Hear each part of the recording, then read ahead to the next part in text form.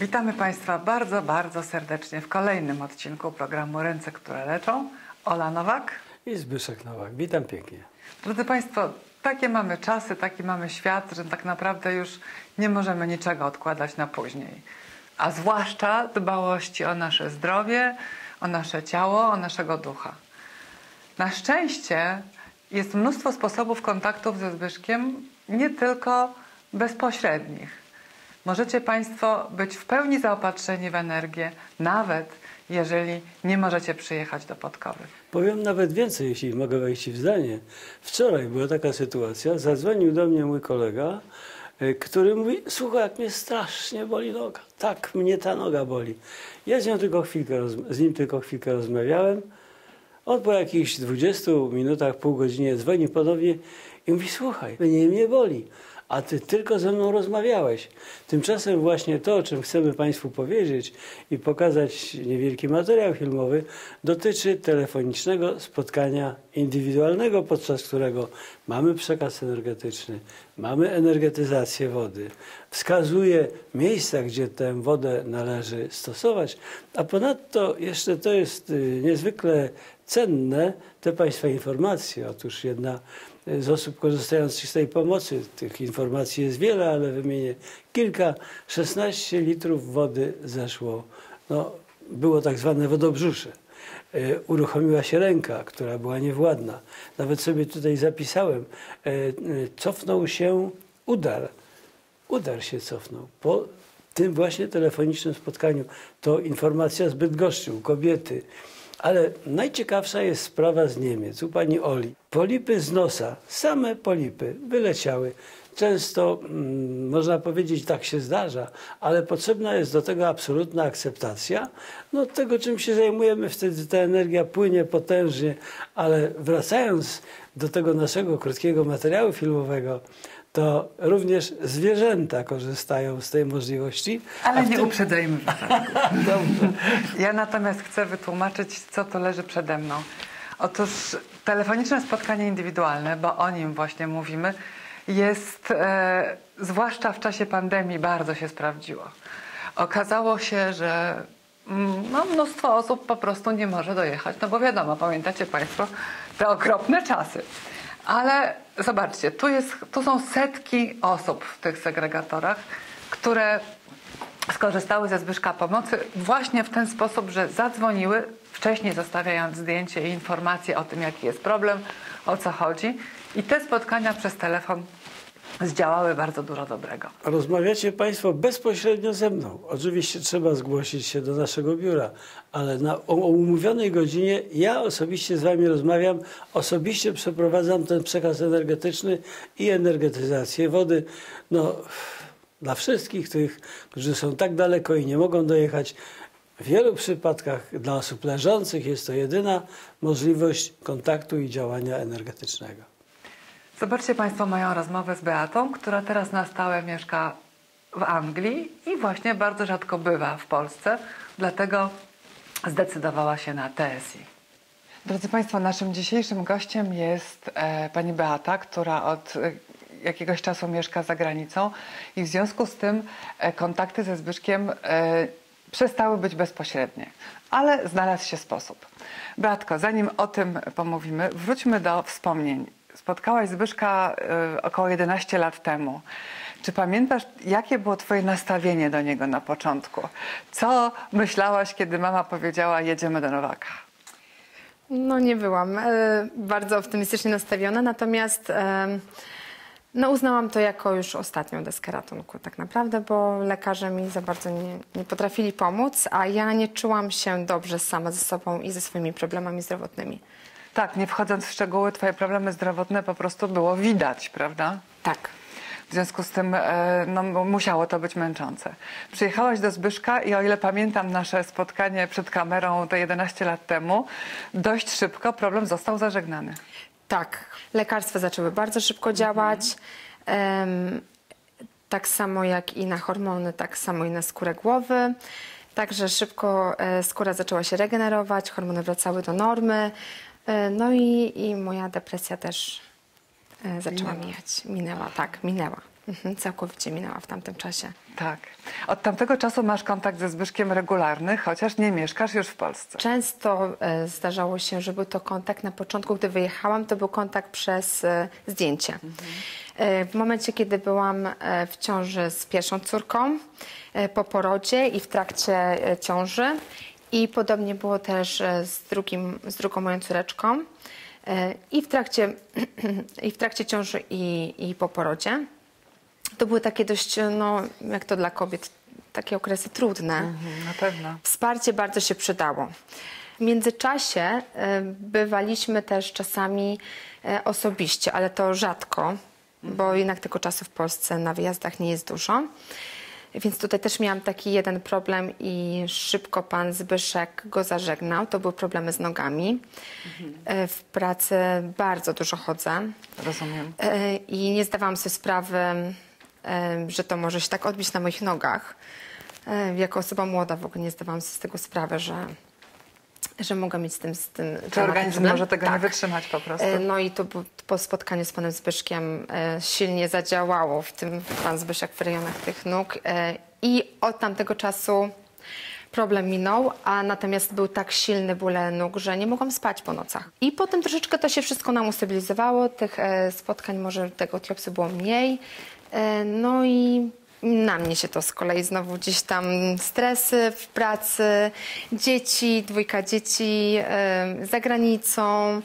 No to jednak jest trochę tematów. dużo odpowiedzialności, pewnie bardzo dużo pracy. Do ogarnięcia, no i trochę stresów. No i przydarzył mi się, em, przydarzył mi się taki no, problem zdrowotny.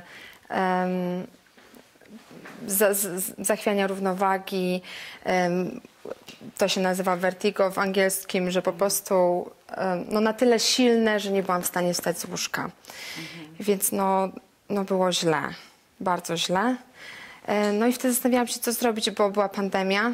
E, Więc właśnie. w ogóle nie było opcji przyjechać do Polski niestety. E, I no, postanowiliśmy, moja mama postanowiła, to sama ona to wszystko ogarnęła mi, bo ja nie byłam nawet w stanie, tak źle się czułam. E, Postanowiła przez telefon spotkanie umówić. I to Tak. było już nie pamiętam dokładnie ile tych spotkań, ale na tyle aż poczułam, że jestem w stanie chodzić, jestem w stanie sobie sama zrobić jedzenie, e, czy z dziećmi się pobawić, czy, no bo byłam na zwolnieniu chorobowym z tego tytułu. E, No i zaczęło to wszystko powoli e, Się cofać. się cofać. No w tym czasie jeszcze też były kołatania serca bardzo silne. Na tyle silne, że one były cały dzień. W nocy, gdy się budziłam, to też były. Także to nie było tak, że może byłam zmęczona, czy po prostu coś tam było nie tak.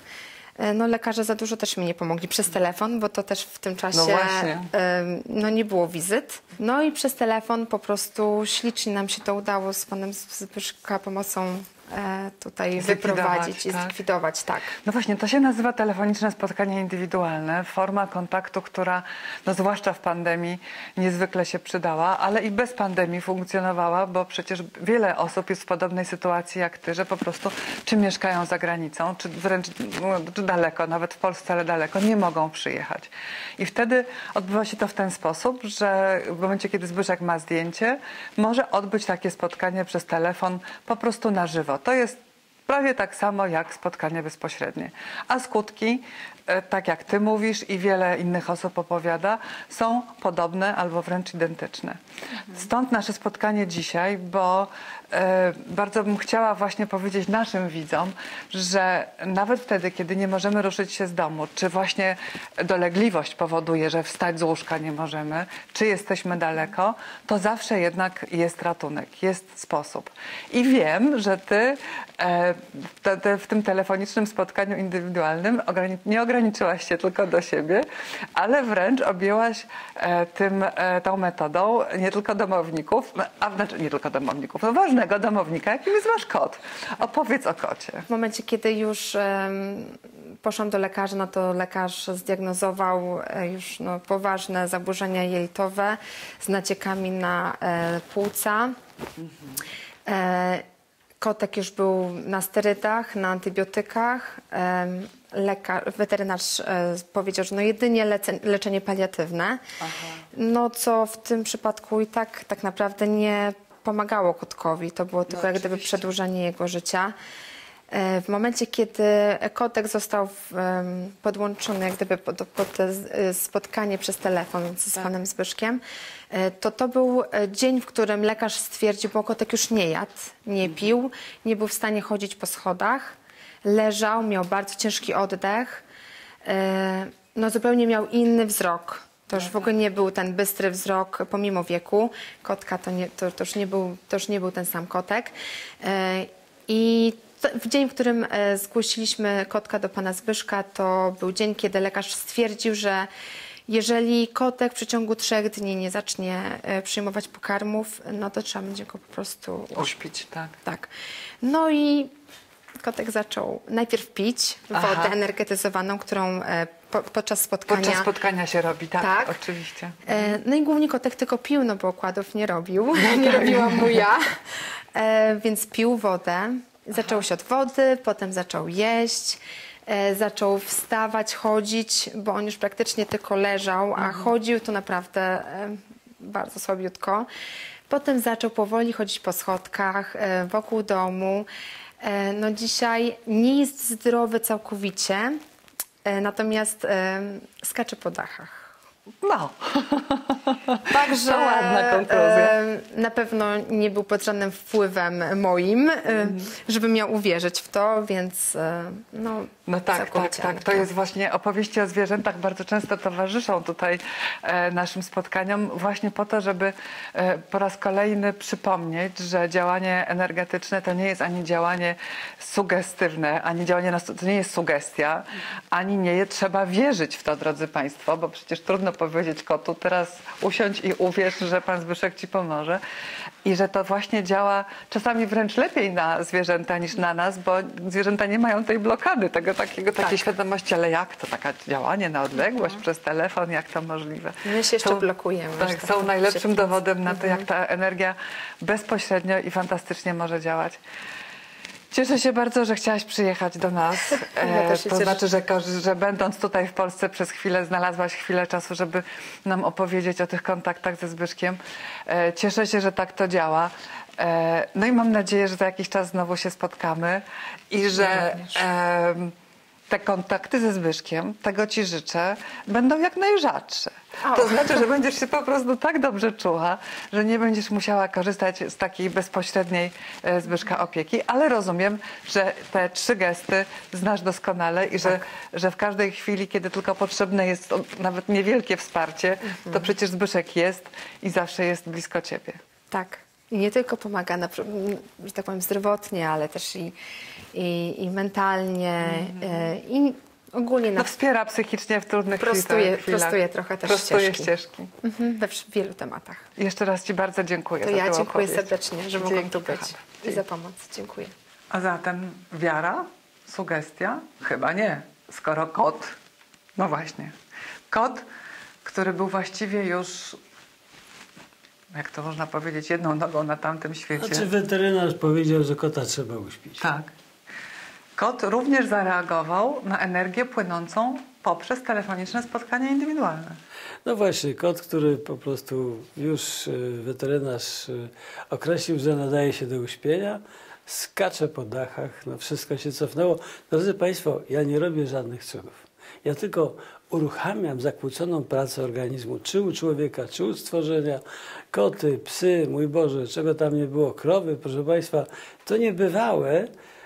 Przecież ja nie działam na e, świadomość, nie działam na e, ciało, ja działam na coś znacznie ważniejszego. Działam na coś, na czym pracuje to nasze ciało. Działam na matrycę energetyczną, na program, na którym jest to nasze ciało rozpisane niezwykle dokładnie.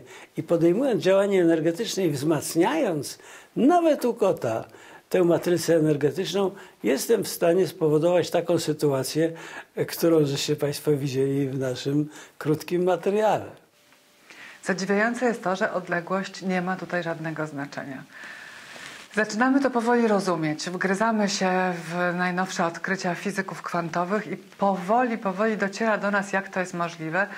ale nie wszyscy mamy taką szansę, zatem pozostaje nam przyjąć, że po prostu energia płynie na dowolny dystans i jest w stanie wyprostować ścieżki i zdrowotne, i psychiczne, i pomóc w biznesie, i rozwinąć kreatywność, i pomóc dzieciom się uczyć na każdą odległość, o każdej porze.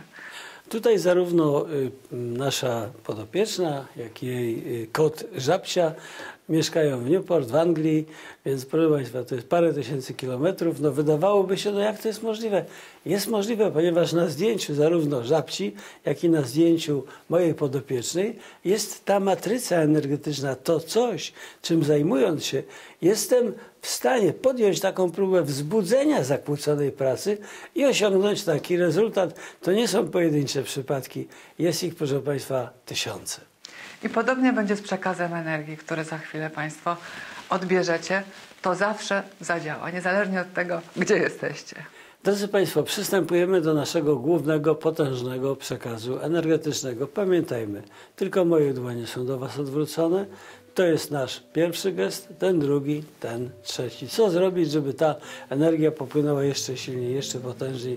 Trzeba uruchomić psychikę. To jest proste, bo wystarczy, żebyśmy mimo wszystko spróbowali się uśmiechnąć. A więc próbujemy, uśmiechamy się, wyciągamy nasze dłonie i zaczynamy ten nasz główny, potężny przekaz energetyczny. Energia, która płynie do Państwa jest opisana znakiem ujemnym. W tym znaku pracuje cały nasz organizm. Niektórzy z Państwa mogą w swoich dłoniach czuć coś w rodzaju mrowienia, drętwienia. To jest oznaka tego, że te nasze receptory, zespoły uczuciowe rozwinęły się jak żagle. Nasz drugi gest, ta energia, która zgromadziła się na powierzchni dłoni, teraz ulega uformowaniu. Możecie Państwo odczuwać silne ciepło, jeśli parzy w dłonie. Dłonie rozsuwamy do takiego momentu, kiedy nie czujemy tego żaru. To jest nasz drugi gest. Energia, która zgromadziła się na powierzchni naszych dłoni, teraz ulega uformowaniu. I nasz trzeci gest. Tobie dłonie kładziemy na naszym ciele. Pamiętamy tylko o tym, aby ręce się nie krzyżowały i palce, żeby się nie łączyły i w tej chwili ta energia wszędzie powoli będzie się rozpływać, a na zewnętrzne strony naszych dłoni z całej powierzchni naszego ciała spływa ten śmietnik energetyczny. I dlatego, kiedy mija trzecia minuta, oczywiście umowna, tego naszego kontaktu, odpromieniowanie, odrywamy dłonie, odrzucamy, jakbyśmy coś trzepywali i klaszczemy. Takim razie energetyzacja wody również niezależnie od odległości będzie skuteczna. Drodzy Państwo, woda po procesie energetyzacji staje się potężnym magazynem energii. Pamiętajmy o tym, że woda to jest 70% masy naszego ciała. Pamiętajmy również o tym, że zbliżająca się fala upałów może spowodować no, brak tej wody w naszym organizmie i w jaki sposób możemy jeżeli na przykład mogą być takie sytuacje, że jakieś bóle, coś się z nami zacznie dziać, może się okazać, że jesteśmy odwodnieni i w bardzo prosty sposób możemy sprawdzić, czy właśnie jesteśmy odwodnieni. Wtedy ściskamy sobie na przedramieniu dwoma palcami skórę w taki sposób i puszczamy. No ja nie jestem odwodniony, ale jeżeli ten garb, który tutaj powstał, zostanie, to znaczy, że natychmiast trzeba się udać do szpitala, żeby te płyny fizjologiczne podawane przy pomocy y, y, urządzeń, żeby spowodować, żeby to nawodnienie niezwykle istotne no, było zabezpieczone. Natomiast o czym powinniśmy pamiętać? Szczególnie ludzie, którzy no, mają rozmaite problemy zdrowotne, czy rozmaite jakiekolwiek y, dolegliwości. Proszę Państwa, woda.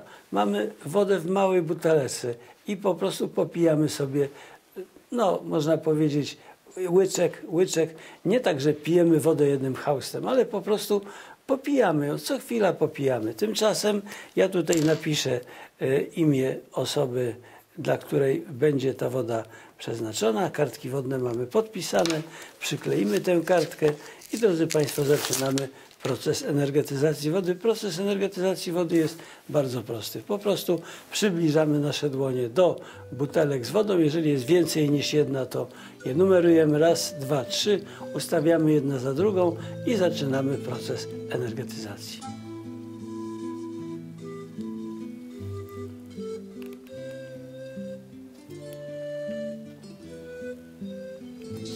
Teraz odrywamy dłonie, odrzucamy, jakbyśmy coś strzepywali, klaszczemy. Drodzy Państwo, rano codziennie pół szklanki. Proszę napić tej wody. Możemy oczywiście wypić więcej, a w miejscach, gdzie występują jakiekolwiek nasze problemy zdrowotne, robimy okłady. W tym celu zbliżamy płatek kosmetyczny, kawałek gazy, waty, ligniny, przykładamy w te miejsca, gdzie odczuwamy jakiekolwiek problemy. To chyba dzisiaj wszystko. Myślę, że mamy duże, duże szczęście, że mamy Ciebie tak na wyciągnięcie ręki, ja i Państwo. No i myślę, że za miesiąc spotkamy się z równie dobrymi wiadomościami jak dzisiaj. Dziękujemy bardzo i drodzy Państwo, pamiętajmy przed snem, co to nam szkodzi wykonać te trzy gesty. Sen będzie zupełnie inny. Rano wstajemy, też warto zacząć ten dzień od tego kontaktu mentalnego, energetycznego, który spowoduje, że ten dzień może być zupełnie inny. Dziękujemy bardzo. Dziękujemy.